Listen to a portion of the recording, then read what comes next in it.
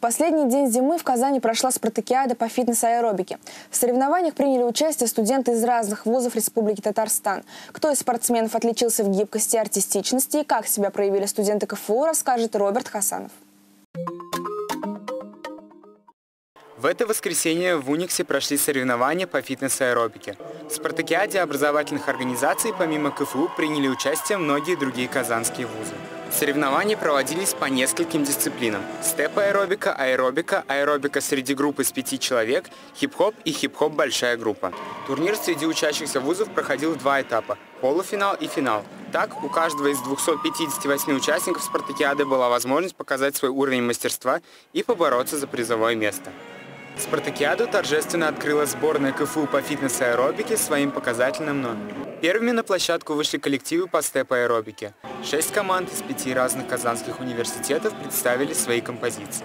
Первое место в этой дисциплине заняли студентки КФУ из команды «Крайт» с динамичным номером. Девушки получили золотые медали, оставив коллективы «Стартап» из КИУ на втором месте и Energy Team из Энергоинститута на третьем. Следующими на площадку вышли команды из дисциплины аэробика. Казанский федеральный университет и здесь забрал золото, опередив команды из КГМУ и КНИТУ. Коллективы из КФУ не остановились на достигнутом и завоевали первое место и в категории аэробика 5 человек. После красочных конкурсных номеров наступает очередь хип-хопа. Грациозные позировки на площадке сменились на отрывистые движения, тверк и брейкданс. В этих дисциплинах приняли участие 9 команд малой группы и 6 команд большой группы. Победу в первой хип-хоп категории одержал коллектив 4 плюс 4 из КФУ. Девушки выступали самыми первыми, однако следующие 8 команд так и не смогли превзойти их уровень танцевания. Второе место среди команд малой группы также занял коллектив из КФУ. В большой группе за первое место серьезно поборолись команды из КФУ и КГУ.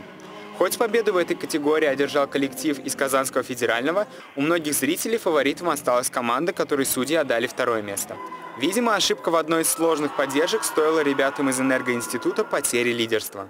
Турнирный день завершился награждением вузов. Так, среди высших учебных заведений большой группы на третьем месте оказался Казанский государственный медицинский университет, на втором месте Казанский государственный энергетический университет, а на первом месте Казанский федеральный. Среди малой группы победителем стал КНИТУ, а второе место забрала ветеринарная академия. Роберт Хасанов, Univer News.